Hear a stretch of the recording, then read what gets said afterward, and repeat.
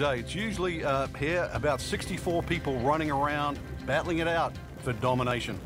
All right, Frank, here we go on the first hole, set for, dare I say, takeoff from this aircraft carrier. Well, that's right, Rich. Uh, you really got to make sure that you get the right flight on this shot coming in because you want it to land soft on this uh, opening hole.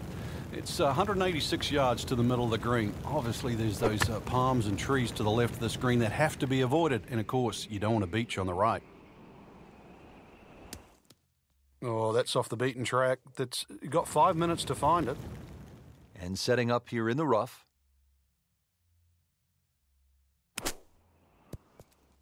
Ooh, what a shot right there. Beautifully done. Now to the second hole, and Frank, I'd be happy to see something with just the normal amount of obstacles, say, a bunker, maybe a pond. Uh, those would be rather benign compared to what we're seeing right here on this second hole. Yeah, that's no love shack. That's a guard shack there on the right of the screen, uh, just past that bridge. So this uh, green well protected on that right side. Of course, water adorns this uh, this island green, and tons of uh, well local fauna around the green. This is one green you do not want to miss. Way off the mark, misses the green to the right. Just wants to hit about an inch behind the ball. It's in the hole. Just a sensational shot right there. Oh my goodness, Frank, I have never seen anything quite like this. What in the world's going on? That's a destroyer and it's off course and it's heading straight for the island. Look out! Well, we're going to have to send in backup now, Rich. We'll need a drone just to try and find out the exact yardage because that ship now has blocked the view. Talk about a tough defense setup around a green. This is unlike anything I've ever seen. I tell you, those shoes at the end of the day, they're going to have so much sand in them. Don't bring those home.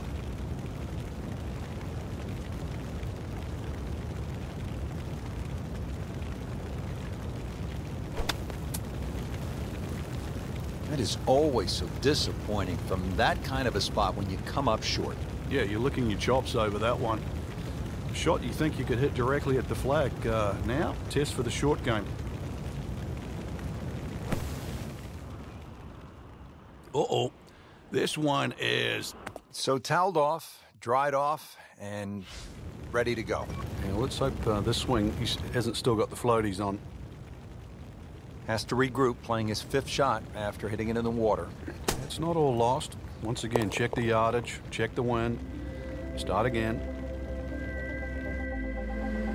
Frank, here at the fourth, there's an awful lot going on. There certainly is. Solar panels, uh, radar tower, tower is up and ready to go, so it will confirm the landing on the other side. If it's successful, this uh, rather long par three around the 230 yard mark, so this is going to be all carry got to land that ball on the green. It will not run through that beach area. And of course, the trees and the palm trees all the way around. If this isn't flighted properly, it will not find the destination. Seems like too much for just one man. This looks like a job for an entire flight crew, Frank. Well, Rich, we should dig ourselves a trench and see what happens. How tough is this going to be now from the rough, Frank? Oh, it's tough to say, Rich. I mean, so much is going to depend on that lie. I'm going to need a little bit of luck. And it is in. Amazing. Amazing. Now, blind tee shot, got to go over those two rocks in front of you. Just keep it right of those palms in the distance.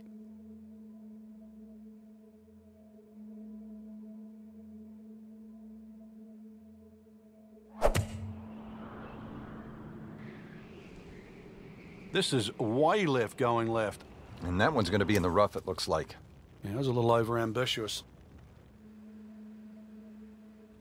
Second shot coming out of the rough here.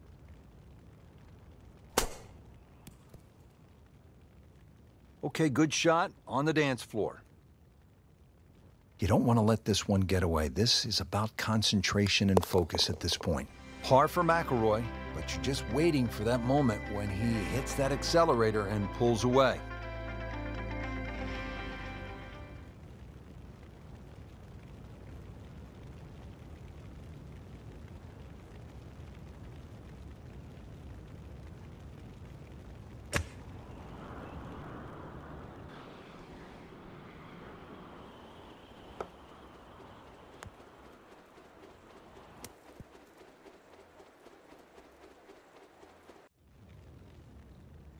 Second shot.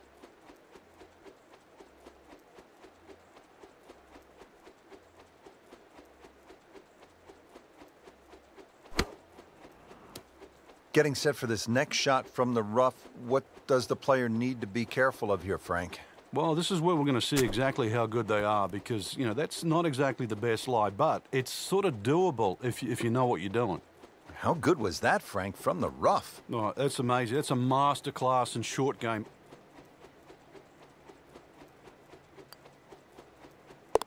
Frank, we hear the sports psychologists say, forget about the bad shot, put it behind you. But, but you know, it just isn't that easy sometimes. You make the double bogey as he did on a previous hole, you're steaming mad. It's hard to let it go. Well, it's like a lot of things in life, too. You've got to choose whether you want to be your own friend or your own foe. And you know, right now you can see that he's fighting himself, and, and that's the biggest difference. You got to you got to realize your best friend out there is you. Confidence right now clearly is shaken. Frank, I hate to go negative, but let's clear a few things up. The penalties when you hit it in the water versus hitting it out of bounds. Yeah, some people. Um, that's a good question, Rich, because some people think they're almost the same, but when you hit it out of bounds, you're actually losing stroke, a stroke, and a distance. For example, if I'm teeing off on a on a par four and I hit it out of bounds, I'm I'm penalised a stroke for hitting out of bounds, and I'm hitting my third shot off the tee. When I hit it into a water hazard, um, I don't have to lose all of that distance. I can drop the ball up just short of the water hazard. So the distance penalty isn't the same as if it was out of bounds. So this will be the third shot after taking the drop with the ball going in the water.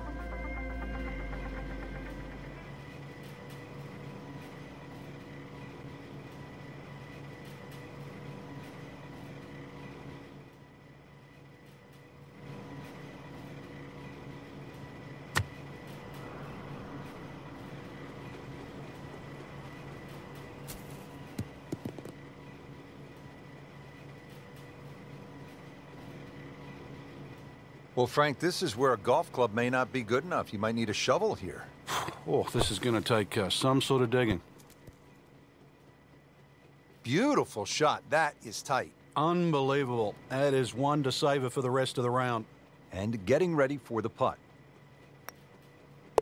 Hasn't been easy, but he'll take it. That's a par. Three over for the day. Rounding out this front nine mission here, the ninth hole. Shot over the building. Well, I need to be careful. The front left of the screen is guarded by a tower, and anything right, you'll be ducking for cover in the trenches. Been a real battle out here today. Just need to keep it all together.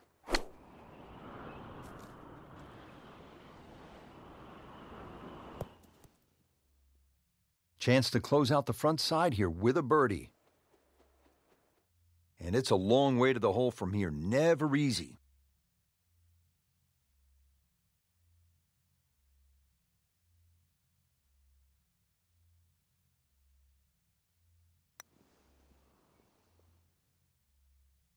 You couldn't ask for much more than that, except to make it. Just five feet left. Good work right there. He'll settle for par. Start of the back nine mission, Rich Lerner for EA Sports with my partner Frank Nobilo. Frank, tell us a little bit about the 10th.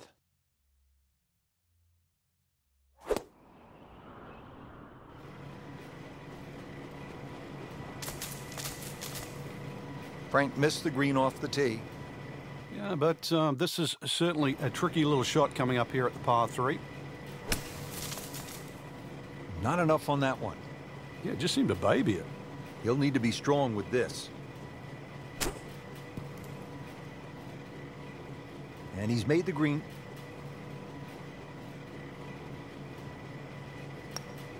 Just a little sloppy right now. No other way to say it. Another bogey, and four over for the day. The 11th hole here at Paracel Storm, now a military playground. Frank, certainly the players are thankful having traded the guns for golf clubs. Good time out there so far. A little bit of an obstacle course, though, here at 11. You can see the weather vanes that adorn the right side of this hole. Tee shot has to be played across that seawall. So, once again, all carry. And let's see if he can land softly on the other side. Boy, this could be a tough one right here, Frank. It's a very long putt, Rich. Obviously, it's difficult, uh, but he still has a shot to sink this one for birdie.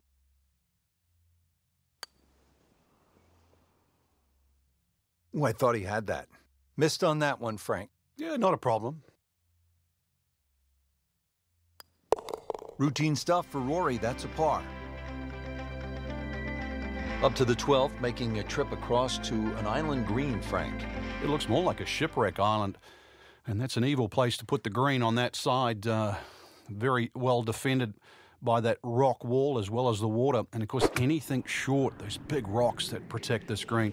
This is probably the most heavily guarded par three on the golf course. Make bogey or worse here, they might strand you out there. Into the thick stuff, that's a difficult lie.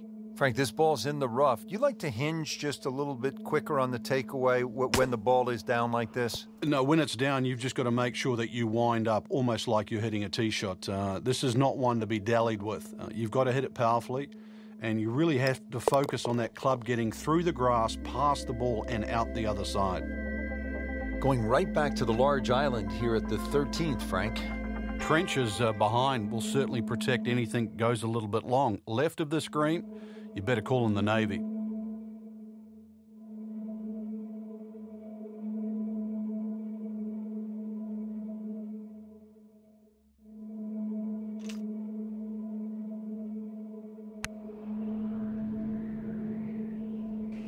Uh-oh, this one's going left, Frank.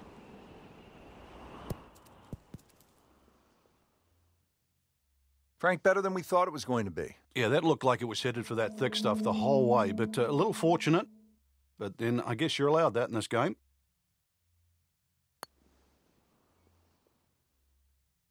Good try, just didn't quite read the break, Frank. Uh, it shouldn't be a problem, you'd think, cleaning up here for par. All right, hanging in. That's a par and four over. Frank, now at the 14th, and really a simple objective here. It looks like an old sand dune where they've just put a green on top, uh, rather benign. It might just sneak up on you, though. It really just looks like green and beaches with a few palm trees behind, but beware. Hoping to get this up and down here, Frank, at the par three after missing the green. Yeah, it's not all bad. Second shot coming out of the rough here. Perfect! And in the hole. What a shot! Frank, in any war zone, the element of surprise is always so critical, and we see that here at the 15th. Yeah, this green is fortified by the jungle that surrounds it, and just a little feature that you often don't see on a golf course. It's not a bunker in the middle of that green, just a mini forest. Just a little short shot here. That's a disappointment right there, Frank. Yeah, green light special, really. Come up considerably short. That's how the best in the world play it, Frank. Well, I tell you, a little lucky that it went in, but it was always going to be close. 16th hole here at Paracel Storm, and Frank, as we begin this closing stretch, strikes me this is tough guy golf out here, isn't it? Well, it certainly is. Uh, if you want to earn your stripes by playing this golf course, this is the place to be. In the spirit of conservation, we have some solar panels to boost up the finish, and uh, the hole not overly long. Let's see what the lieutenant can do this time. See if he can get this one to drop here at the 16th for a birdie. This is a long putt. Really, the key is the speed. If it drops, that's a bonus.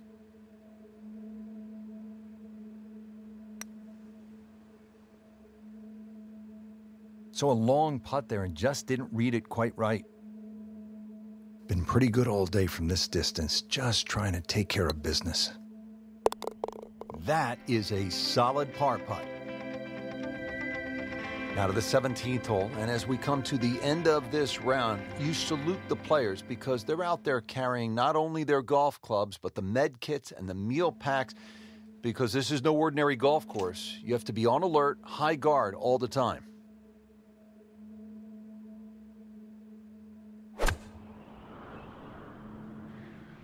You know, this is not heading in the right direction. No, it looks like it's going to be in the rough. Frank made this hole just a little bit harder hitting it into the rough. I would say a lot harder. Ball sitting down here in the rough. He's digging in. Oh, yes, he's holed it, Frank. Unbelievable. From that distance. Frank, the job is almost complete here at the 18th hole, and a good job at that as we have seen some spectacular golf here at Paracel Storm in the South China Sea. Just one more battle ahead, the difficult 18th. Should they succeed, then I think they're worthy of a salute. This won't hurt him. He's knocked it on the green, but not in a great position. This is a difficult chance coming up here. Long birdie try. Frank, he'll have to take a full swing at this putt for birdie. This is long, but every now and again, one of these finds the bottom of the cup and makes that magic sound.